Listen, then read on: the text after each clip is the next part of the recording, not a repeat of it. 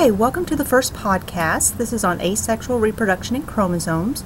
You should have printed off a lecture sheet from Moodle and we'll fill in the blanks as we've done before in class. What's new is on the one side there's something called side notes.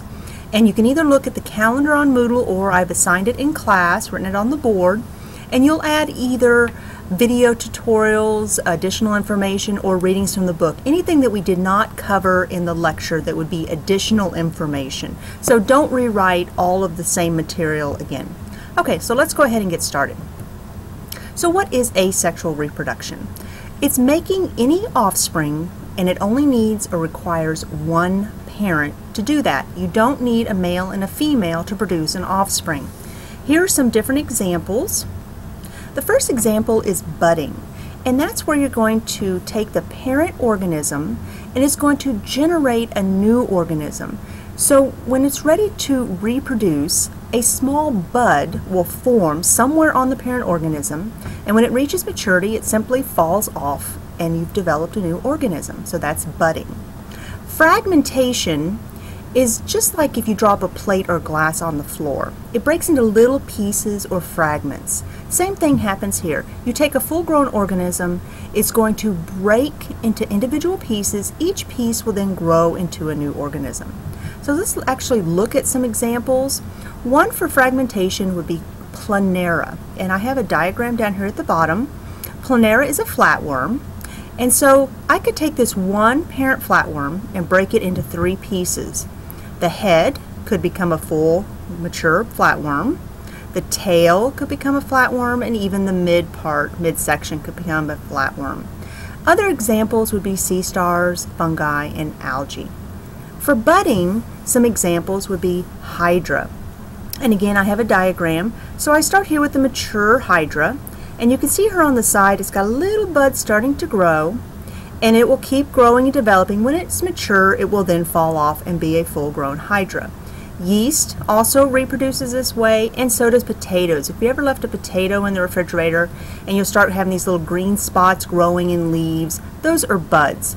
So make sure that you can explain these examples and the difference between the two if we have a quiz in the near future. Okay, asexual reproduction in plants. When you have vegetative reproduction, it's going to make new individuals without the production of seeds or spores. So one or two good examples would be grass and strawberries. And what they do is they will send out little horizontal stems called runners. And sometimes you may hear them called also rhizomes or stolons if they run above or below ground. But here's an example of a strawberry plant. This is the parent plant. And all these little stems coming off of it on top of the ground are little runners and they will develop the fruit or the strawberries.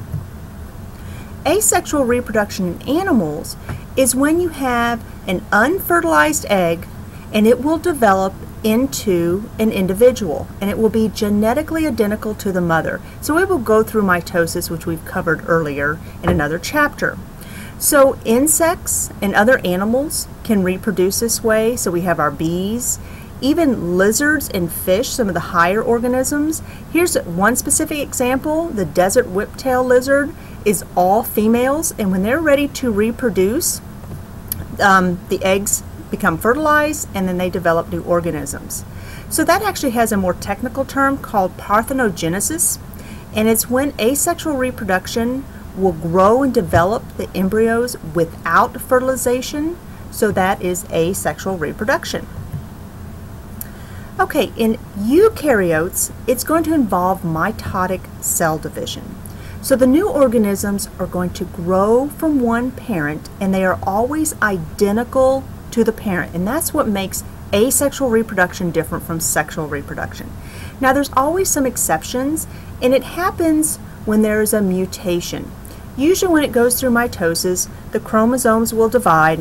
And so for example, these will divide and you notice that it is genetically identical to the parent and supposed to these are also, these cells down at the bottom are supposed to be genetically identical. But something called non-disjunction, which we'll cover later, basically that means those chromosomes do not divide or split equally. So you may have, this could be sperm and egg cells, for example, these four across the bottom. So you may have, if it's a human, you may have one cell that has 46 chromosomes, which would in turn be 23 if it was an egg or a sperm, and you may have another one that has 47 or it could be 24, 25. So they're not divided equally, so that's a mutation. Organisms that are genetically identical are called clones. Probably the most famous would be Dolly the sheep. Okay, basically in a nutshell, I'm just going to simplify this. What they did is they took two different donors, two different sheep, and the one sheep they did something called enucleation, which means they removed the nucleus from the cell. So it had no nucleus. They took a second donor and they took the nucleus and implanted it into the cell that did not have one. There was a jolt of electricity, a current pulse, and that generated the starting of mitosis and cell division. When it finally reached the stage, so you notice now it's not in an organism, so it's done in a petri dish or a test tube. So once it reached the stage called a blastocyst, and again we'll cover this later, but that is basically the cells have divided, it's a hollow ball, and it's right before the layers start specializing, becoming tissues and organs. Once it reaches this stage, it's then implanted into a surrogate, and then the surrogate will develop the young until maturity or until birth, and then that's Dolly. Okay, chromosome numbers. Each species has a set or a certain number of chromosomes. Now, if you have two or more species that have the same number, they're still going to be different. And it's all based on the number of genes and how they're arranged and how they're different. I pulled some examples. There's a lot more examples out there. And I just use the basic names. These are actually specific like rat and monkeys. But I could take a species of rat, oats, like your cereal, and a particular kind of monkey, this is actually the rhesus monkey, each one of those has 42 chromosomes. Obviously, even though they have the same number of chromosomes, they are totally different organisms, and that's because of the genes. You could also have, for example, two beavers. One's an American and one's a European. They have the exact same genus, but they are different species. One, the American, has 40 chromosomes, and the European has 48. And then just to show the extremes and number of chromosomes, the most chromosomes that are found that are known to date, of course there's a lot of species that have not been discovered, a particular fern has 1260 chromosomes and the fewest is this particular species of ant has only two. Now probably the most common one you've heard of, the fewest number would be eight and that would be the fruit fly because that's usually what scientists study when they're doing genetic tests. Okay, prokaryotes. So we focused on eukaryotes. Now let's look at prokaryotes. So they usually only have one set of chromosomes, and this would be an example of bacteria. You can see here this mass in the middle is actually called a nucleoid. You notice it does not have a membrane. Um, it also has something separate, which is the DNA. It's called a plasmid, and we don't need to worry about that for the test. But it does not have a membrane, and that's why when you get a cut, it can generate into an infection so quickly because they can replicate so quickly. Okay, eukaryotes. So we have chromosomes, and chromosomes always occur in pairs because you're going to match up a chromosome from your mom and a chromosome from your dad. Now there's always some exceptions, as always. So when we look at two chromosomes of a pair, they are called homologous chromosomes or homologs. Either term is sufficient. Think of it as a pair of shoes. So I went out to the internet and I grabbed some different pairs of shoes. So you notice they're pretty much heels, similar color, but they're all a little bit different. They're like the chromosomes. Okay, the structure is the same, they have the same function, but they are homologous chromosomes. Now, there are some chromosomes, the sex chromosomes, where you may have one black heel and one blue. So that would be the exception. So one may be a large chromosome and one may be a small chromosome. And when we do genetic testing, we'll look at that a little closer. A tetrad, and we'll see this when we look at meiosis, and this is making of the sex cells, is called a tetrad. So when I have a pair of homologous chromosomes, so here are the pairs of homologous chromosomes. And we'll look at this particular phenomenon called crossing over. This allows for organisms to be genetically different from one another, that crossing over. Okay, chromosome numbers and how they are different. So we said that in asexual reproduction, the number of chromosomes are maintained, which means they are identical to the parent, and that occurs through mitosis. In sexual reproduction, you have a new individual. So you have two new nuclei, one from the mom and one from the dad. When you unite those two together, that is called a zygote. So make sure you know that. Here's an illustration, and it's kind of hard to tell. You don't know which one's the male and which one's the female. So one's the egg nuclei, one's the sperm nuclei. But once they come together, it is then called a zygote. Sexual reproduction.